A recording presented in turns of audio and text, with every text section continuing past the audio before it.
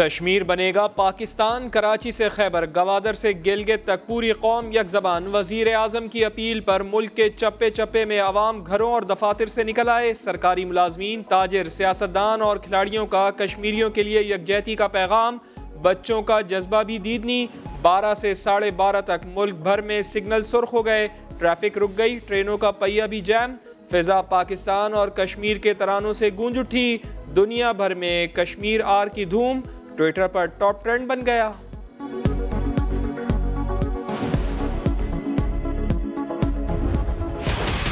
میں نریندر موڈی کو صاف بتانا چاہتا ہوں کہ آپ کی اینٹ کا جواب ہم پتھر سے دیں گے۔ ہماری فوج تیار ہے۔ جن کے پاس نیوکلیر ویپنز ہوں تو جب وہ اس طرح آمنا سامنا کرتے ہیں، صرف بر صغیر کو نقصان نہیں ہوگا، دنیا کو نقصان ہوگا۔ مجھے بڑے افسوس سے کہنا پڑتا ہے کہ جب مسلمانوں پہ ظلم ہوتا ہے، جنہوں نے انصاف دینا ہوتا ہے، جس طرح یونائٹڈ نیشنز ہے یہ خاموش رہتے ہیں۔ ہٹلر مودی کسی غلط فہمی میں نہ رہے، آزاد کشمیر پر حملے کی غلطی کی تو فوج تیار ہے۔ اینٹ کا جواب پتھر سے دیں گے۔ وزیر اعظم عمران خان کا سرحد پار واضح پیغام کہا۔ مودی نے کشمیر پر آخری کارڈ کھیل دیا، اب کشمیر آزاد ہوگا۔ افسوس ہے کہ مسلمانوں پر ظلم ہوتا ہے تو دنیا خاموش رہتی ہے۔ صدر مملکت نے کہا، قوم متحد ہوگی تو کشمیر ضرور آزاد ہوگا۔ مسلم حکمران کشمیر پر پاکستان کا ساتھ دیں۔ دنیا کشمیر کو نظر انداز مت کرے۔ ایٹمی قوت آمنے سامنے ہیں۔ پاکستان اور بھارت کے درمیان محاذ کھلا تو پوری دنیا لپیٹ میں آ جائے گی۔ یہ دوسری جنگ عظیم سے بڑا خطرہ ہے۔ وزیر اعظم عمران خان کا نیو یارک ٹائمز میں مضمون لکھا، مودی اور اس کی کابینہ کے نظریات ہٹلر اور مسلونی والے ہیں۔ عالمی قوت معاشی مفادات کو ایک طرف رکھ کر مسئلہ کشمیر حل کروائیں۔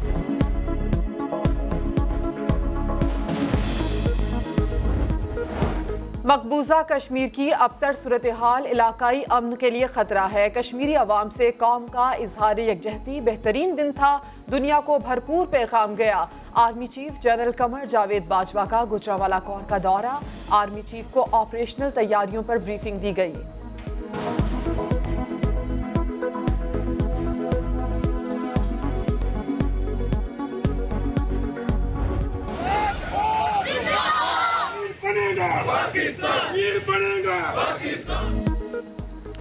لاہور کی فضائیں بھی بھارت مخالف نعروں سے گونج اٹھی۔ مال روڈ پر سب سے بڑی ریلی۔ گورنر وزیر اعلیٰ پنجاب سرکاری اور نجی اداروں کے ملازمین اور شہریوں کی بڑی تعداد میں شرکت۔ مودی کا پتلا نظر آتش۔ لبرٹی چوک پر سول سوسائٹی کا مظاہرہ۔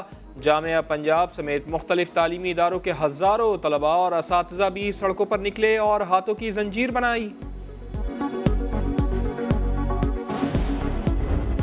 انڈیا کا سیکولرزم ختم انڈیا ایک فاشسٹ ملک ہے انڈیا نے وہ ظلم کیا ہے جو ہٹلر بھی شاید آج زندہ ہوتا تو شرماتا مودی نے بھی مرنا ہے اور میں نے بھی مرنا ہے لیکن مودی جب مرے گا تو لوگ اس کو ہٹلر کے نام سے یاد کریں گے ہمارے ایل او سی پہ اور انڈیا کے لیے تو میرے پختون بھائی بہت زیادہ ہیں کراچی میں بھی کشمیری بھائیوں سے اظہار یکجہتی مزار قائد پر ریلی میں گورنر سندھ اور سیاسی رہنماؤں کی شرکت۔ عمران اسماعیل نے کہا، مودی کچھ بھی کر لے، کشمیر پاکستان کا حصہ بن کر رہے گا۔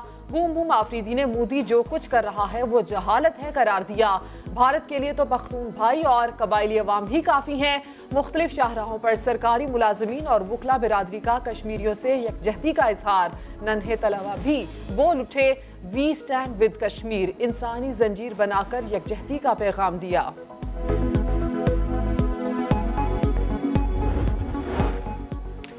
اسلام آباد کے ڈی چوک پر یکجہتی کشمیر کا بڑا اجتماع، سیاستدانوں، سرکاری افسران وکلا اور طلباء سمیت ہزاروں افراد کی شرکت۔ وزارت خارجہ اور پیمرا کا اظہار یکجہتی، پولیس جوان بھی عوام کے ساتھ یکجان۔ راول پنڈی کی لال حویلی سے شیخ رشید احمد کی مودی کو للکار کہا، مودی کے اقدامات سے بھارت ٹکڑے ٹکڑے ہو جائے گا۔ ایٹمی دھماکہ بھارت کی پہلی اور کشمیر سے متعلق آرٹیکل کا خاتمہ۔ دوسری بڑی غلطی ہے۔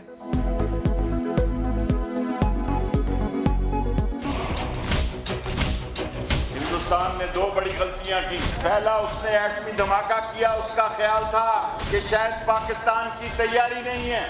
اس نے پانچ دھماکے کیے، ہم نے چھ کر دیے۔ دوسری بڑی غلطی یہ کی ہے کہ کشمیر میں تین سو ستر اور ون ففٹی تھری کو ختم کیا۔ اس سے کشمیر میں کرفیو ہے۔ وہ مسلمانوں کا قتل عام کرنا چاہتا ہے۔ پاکستانی فوج لمحہ ب لمحہ تیار ہے۔ پشاور میں بھی کشمیر آر بھرپور انداز سے منایا گیا۔ وزیر اعلیٰ اور گورنر خیبر پختونخوا کی زیر صدارت ریلی صوبائی وزراء اراکین اسمبلی سمیت ملازمین اور عوام کی بڑی تعداد میں شرکت کی۔ گورنر پختونخوا کا کشمیریوں کی آزادی کے لیے ہر قربانی دینے کا عزم، کوئٹہ سمیت بلوچستان بھر میں کشمیریوں سے اظہار یکجہتی۔ وزیر اعلیٰ کی قیادت میں صوبائی اسمبلی سے ہائی کورٹ چوک تک ریلی۔ جام کمال نے کہا، دنیا دیکھ لے، آج پوری قوم کشمیریوں کے ساتھ کھڑی ہے۔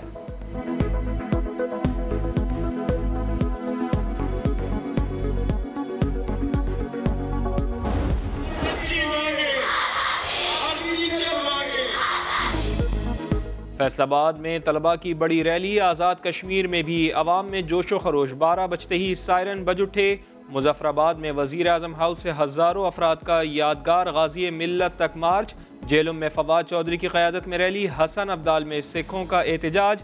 ایبٹ بورے والا گجراوالا اور سیالکوٹ میں مارچ سات قبات میں نوجوانوں نے سو فٹ لمبا کشمیری پرچم لہرا دیا۔ جنوبی پنجاب اور حیدرآباد سمیت اندرون سندھ بھی ریلیاں گلگت اور اسکردو میں طلبہ نے احتجاج کیا۔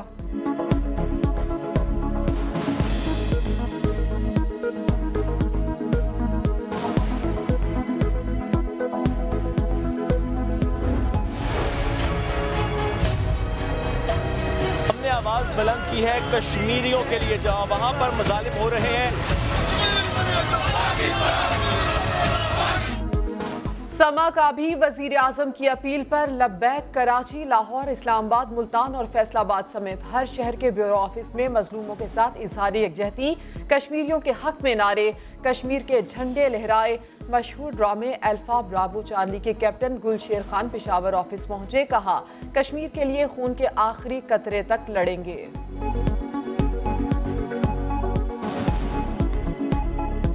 جہاں تک کشمیر کی بات ہے تو بلی تھیلے سے باہر آ چکی ہے۔ اب یہ ان کے پاس نہیں ٹکتا۔ یہ انشاءاللہ آئے گا، ہمارا ہمارا ہے اور ہمارا ہوگا۔ وزیر اعظم عمران خان کا یو اے ای کے ولی عہد شیخ محمد بن زید النہیان کو فون۔ مقبوضہ کشمیر کی بگڑتی صورتحال پر تبادلہ خیال۔ وزیر اعظم نے بتایا، کرفیو چوتھے ہفتے میں داخل ہو گیا ہے۔ کشمیری عوام امت مسلمہ کی مدد کے منتظر ہیں۔ عالمی برادری پابندیوں کے خاتمے کے لیے اقدامات کرے۔ وزیر خارجہ کا جنوبی کورین ہم منصب کو فون۔ خطے میں امن و امان کی صورتحال پر بات چیت۔ جنوبی کورین وزیر خارجہ کا انسانی حقوق کی خلاف ورزیوں پر تشویش کا اظہار۔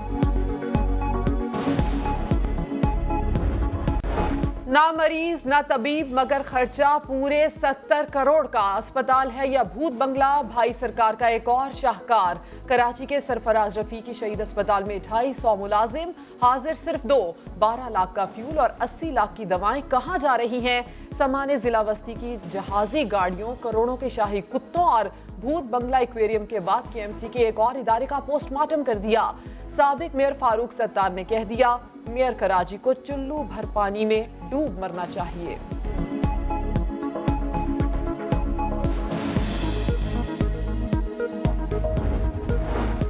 آصف علی زرداری کی طبیعت ٹھیک ہے، میڈیکل بورڈ نے سب اوکے کی رپورٹ پیش کر دی۔ سابق صدر کو پیمز اسپتال سے ڈسچارج کر دیا گیا۔ آصفہ بھٹو زرداری کہتی ہیں، والد کو کچھ ہوا تو ذمہ دار حکومت ہوگی۔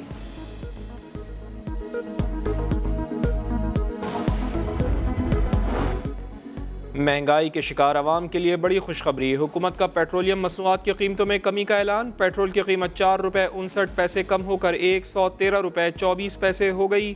ڈیزل سات روپے سڑسٹھ پیسے اور مٹی کا تیل چار روپے ستائیس پیسے سستا۔ اطلاق یکم ستمبر سے ہوگا۔ معاون خصوصی فردوس عاشق اوان کہتی ہیں وزیر اعظم عمران خان کی قیادت میں نئے پاکستان کا دوسرا سال، نئی خوشخبریاں لے کر آئے گا۔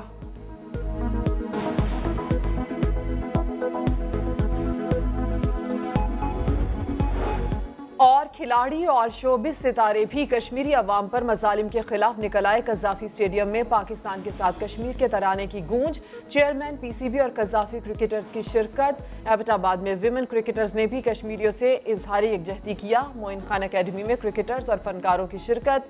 پاکستان ہاکی فیڈریشن میں پاکستان اور کشمیر کے پرچم لہرائے گئے۔ ٹینس اسٹار اسام الحق نے یو ایس اوپن کا میچ بازو پر سرخ پٹی باندھ کر کھیلا۔